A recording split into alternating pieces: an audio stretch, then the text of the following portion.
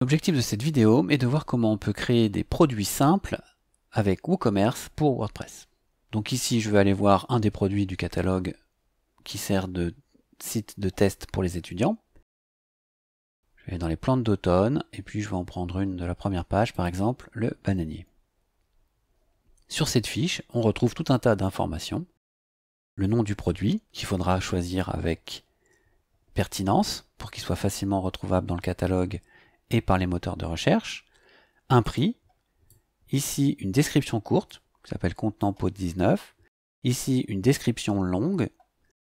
Et pour l'instant, pas de variation et pas d'attribut. On verra ça un peu plus tard dans une seconde vidéo. J'ai aussi une image du produit et puis une petite galerie avec deux images supplémentaires. Donc comment on fait pour créer ça dans WooCommerce? C'est très facile. On va dans le menu dans le back-end qui s'appelle Produits et on fait Ajouter si on veut faire un nouveau produit ou on fait tous les produits si on veut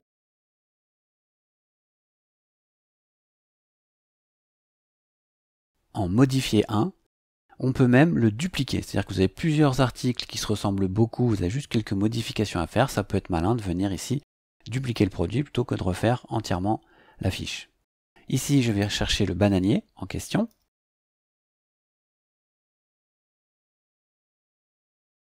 Alors des bananiers, vous voyez que j'en ai un qui est publié avec ses statistiques de visite, et puis j'en ai un deuxième qui est en brouillon. Donc ça c'est dans modification rapide ici. Vous pouvez assez facilement changer l'état d'un de vos produits. Vous pouvez aussi assez facilement changer son prix. On ne peut pas tout faire, mais il y a quand même un certain nombre de choses assez facilement faisables. Et puis en plus l'avantage ici, c'est que si vous faites une sélection multiple et que vous venez faire modifier, vous pourrez éventuellement mettre à jour plusieurs articles en même temps par exemple en leur changeant la catégorie ou des choses comme ça. Donc ici, je reviens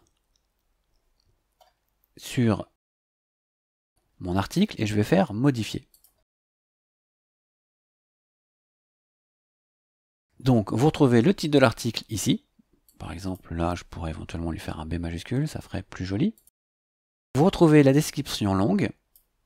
Alors pour l'instant c'est très très très technique, mais il va falloir aussi y ajouter un petit argument commercial. Alors soit ici, soit éventuellement dans la description courte. Pour l'instant, il y a marqué que contenant pot de 19. Euh, je vous rappelle que ça, en ligne, c'est ce qui va s'afficher ici. Donc ça peut être un petit texte qui incite les gens à acheter cet élément-là de votre catalogue. Alors ensuite, vous avez la catégorie de l'article qui est ici. Donc ça, même chose, c'est bien sûr paramétrable ici. Alors un même article peut être dans plusieurs catégories, bien sûr. Par défaut, il sera dans plantes de printemps, puisque c'est celle qui est définie par défaut pour notre site. Donc si vous ne cochez rien, c'est ici que ça va venir se mettre. Ensuite, vous avez là les photos de votre galerie produit. Les trois petites photos, c'est celle qui est à la une, et plus les deux autres que j'ai rajoutées ici. Donc là, il vous dit de téléverser des fichiers de 1000 pixels par 1000 pixels maximum avec 2 mégaoctets. Donc ça, ça dépend du paramétrage de votre serveur web. le nôtre est limité à 2 mégaoctets par fichier. Et 1000 pixels par 1000 pixels, c'est parce que j'ai réglé notre boutique avec des miniatures carrées. Donc il, veut ça. Ça, c'est la façon optimum d'envoyer. Mais ça peut être euh, des variantes. Hein. Ça peut être 900 par 900, ça marchera très bien aussi. Ensuite, le nom des fichiers, là, il faut bien veiller à bien nommer vos fichiers.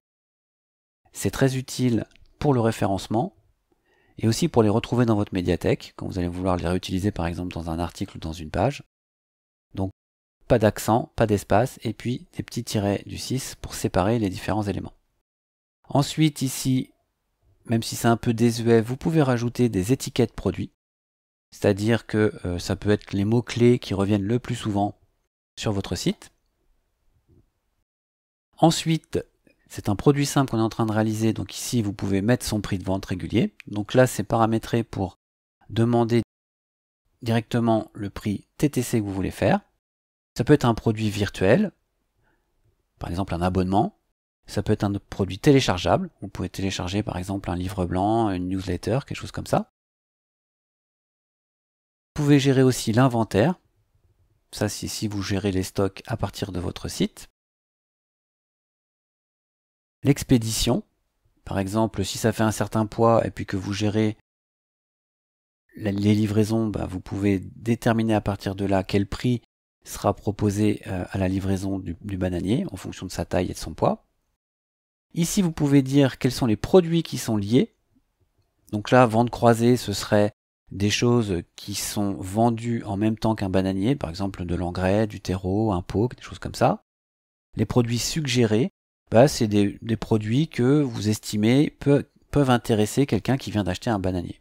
Si vous ne le faites pas, WooCommerce se chargera de trouver des produits qui font l'affaire. Les attributs, je laisse pour plus tard, dans la deuxième vidéo. Ensuite vient la partie SEO. Donc là, c'est très important. Il faut que vos titres soient suffisamment longs. Vous voyez là, ça fait 26 caractères sur, pour 60. Bah, c'est pas beaucoup. Hein. Il, va, il va appeler ça bananier-séparateur laisser Jacques. Là, on peut rajouter par exemple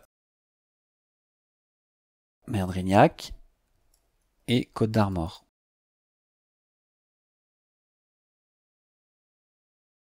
En ce qui concerne la description, il a pris la description courte. Donc là, c'était juste marqué contenant de 19, hein, donc c'est pas beaucoup. Donc là, il faudrait ajouter un petit laïus sur les bananiers pour augmenter ça et améliorer votre visibilité dans les moteurs de recherche.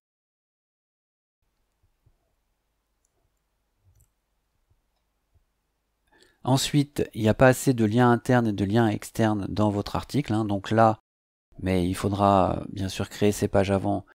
Pourrait y avoir un lien vers une page euh, qui s'appellerait Conseil pour euh, soigner son bananier. Pourquoi pas Vous pouvez mettre à jour ou publier votre article. Et voilà.